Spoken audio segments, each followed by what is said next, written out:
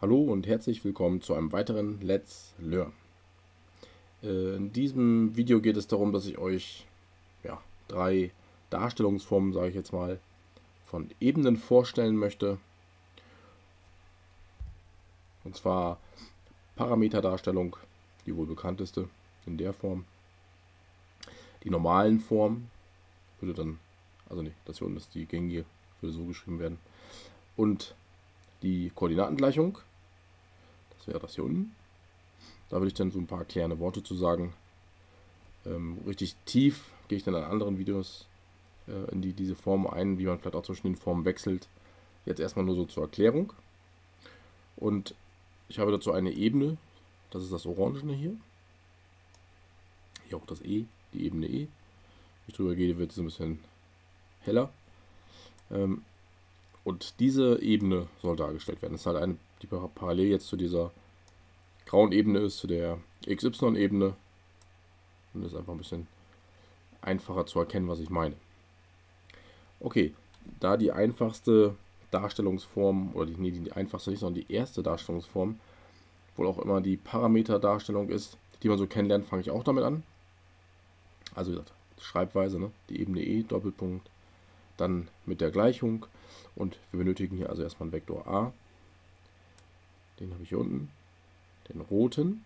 Das ist der Stützvektor, der startet im Ursprung, zeigt auf den Punkt A und ja, stützt meine Ebene. Ich habe den Vektor U und den Vektor V. Und mein Vektor U, ja, wenn man es jetzt schlecht sieht, da unten ist es verschwunden, ist mein grüner Vektor. Und mein Vektor V ist der blaue. Und R und S sind Parameter. Daher hat die Form auch ihren Namen, Parameterdarstellung. Und die sorgen dafür, dass unsere Vektoren ja, sowas wie variabel sind. Ich habe das hier mal mit Schiebereglern real realisiert. Wenn ich meinen äh, den, den Regler S bewege, seht ihr, dass der Vektor V kürzer oder länger wird. Oder wenn ich eine negative Zahl nehme, auch in die andere Richtung geht. Und dasselbe auch mit dem Grünen passiert. Und dennoch, ich mache hier mal ein bisschen was das Negative und kipp das mal. Auch diese beiden Richtungsvektoren beschreiben immer noch die Ebene E. Übrigens, ähm, dass die Ebene hier so ein bisschen ausgeblendet wird am Rand, heißt, sie hört hier nicht auf, sondern ich habe diese Box, in der wir ja, in der ich betrachte, so ein bisschen ähm, begrenzt, klein gemacht, weil sonst die Zahlen so klein werden und das ein bisschen blöd ist, so zu navigieren. Also diese Ebene ist gar nicht so 100% genau bekannt. Sie geht also weiter als meine Grenzen der Box. So, schnell zurück hier auf 5. Also, ähnlich wie bei der geraden Gleichung in Parameterform, ähm, ist jetzt auch also die Ebenengleichung in Parameterform. Ich habe einen Stützvektor und dieses Mal habe ich zwei Richtungsvektoren. Ja, und das Einzige, was zu den Richtungsvektoren noch zu sagen ist, ich glaube, das sieht man hier auch ganz gut, sie müssten sich irgendwie hier im Punkt A treffen können, also sie dürfen nicht parallel sein. So, drehen wir wieder zurück. Und das ist wohl die gängigste Art und Weise, ähm, eine Ebene zu beschreiben. Oder sagen wir jetzt mal die erste. Äh, dann gibt es noch eine zweite Möglichkeit, die normalen Formen. Bei der normalen Form brauchen wir den normalen Vektor. Ich blende jetzt mal ganz kurz ein, den habe ich hier in lila. Äh, der ist noch ein bisschen hoch, aber ich kann hier die beiden Richtungsvektoren ändern. Ich mache mal 1, 1. Und dann seht ihr, dann kommt ihr auch zurück. Ähm, dieser normalen Vektor der lilane, der muss orthogonal sowohl auf dem Vektor u als auch auf dem Vektor v stehen. Also ich habe so, sowohl hier jetzt einen rechten Winkel als auch hier einen rechten Winkel. Und ähm, ich versuche das noch ein bisschen so zu machen. So. Und wenn ich die Richtungsvektoren ändere, dann seht ihr, ändert sich auch der normalen Vektor, aber er bleibt immer senkrecht. auf beiden. Er wird nur ein Vielfaches von dem, was gerade war. Also länger oder kürzer. Hm, er kann übrigens auch tatsächlich in die andere Richtung gehen, wenn ich beides in die andere Richtung mache. Nö, will er nicht. Also er dürfte auch nach unten zeigen, dann wäre er immer noch senkrecht auf den beiden ähm, Vektoren u und v und wäre immer noch einen normalen Vektor.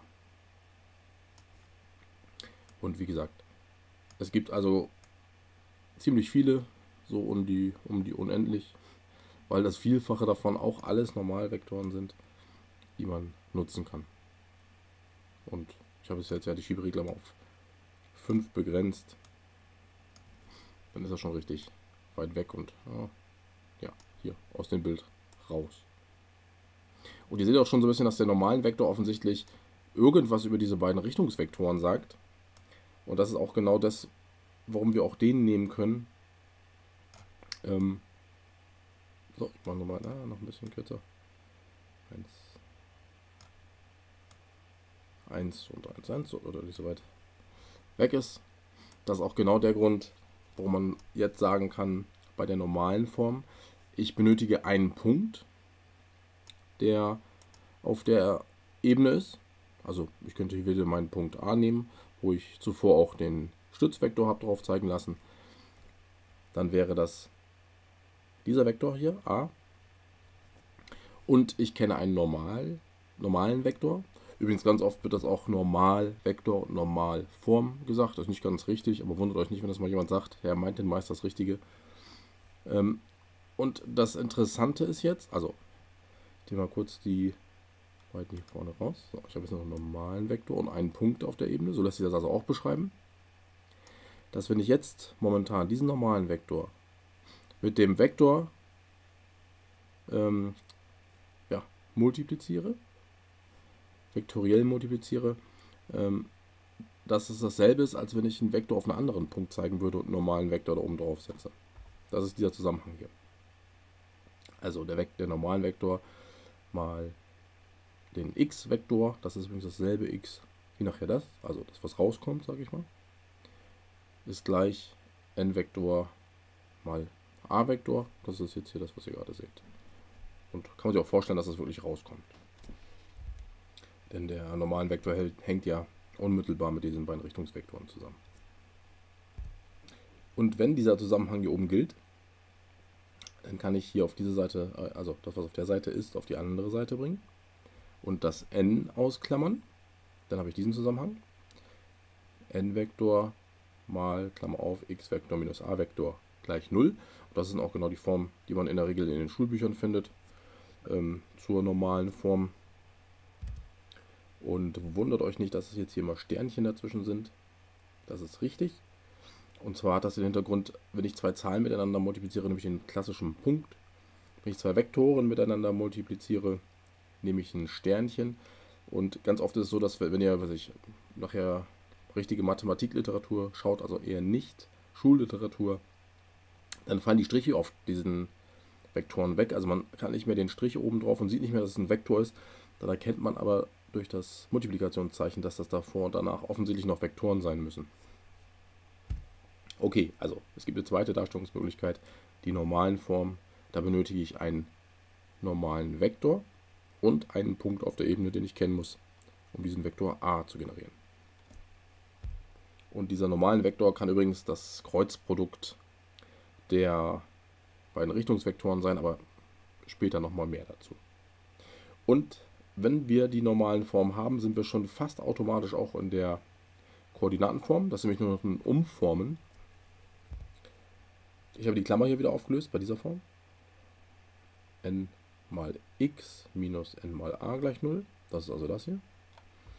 Und dann seht ihr schon, wenn ich tatsächlich zwei Vektoren miteinander multipliziere, n und x, und die einzelnen Einträge daneben, dann muss ich n1 mal n2 plus n1, äh, n2 mal x2, so muss ich das sagen, also nochmal, n1 mal x1 plus n2 mal x2 plus n3 mal x3 nehmen. Dann hätte ich das hier vorne gemacht. Und hier drin, der n, also wenn ich jetzt ähm, das mache, der normalen Vektor muss ja bekannt sein. Also hier habe ich Zahlen als Eintrag. Ich hätte hier also auch schon Direktzahlen. Und multipliziere jetzt mit dem Vektor a, der muss ja auch bekannt sein, da ja der Punkt a bekannt sein muss, damit ich es überhaupt beschreiben kann. Das heißt, hier multipliziere ich Zahlen in Vektoren. Das heißt, da kommt eine Zahl raus. Minus eine Zahl. Und sobald ich minus eine Zahl auf die andere Seite bringe, wird sie in der Regel d genannt. Also hier kommt einfach eine Zahl raus. 48 oder irgendwie sowas. Und hier vorne stehen natürlich auch Zahlen. So 1, 2, 3. Also 1 mal x1 plus 2 mal x2 plus 3 mal x3 gleich 48. Irgendwie sowas. Das ist dann die Koordinatengleichung. Und ihr seht, die Zahlen vor den x1, x2, x3, das sind die Einträge des normalen Vektors. Die kann man direkt ja wieder rauslesen.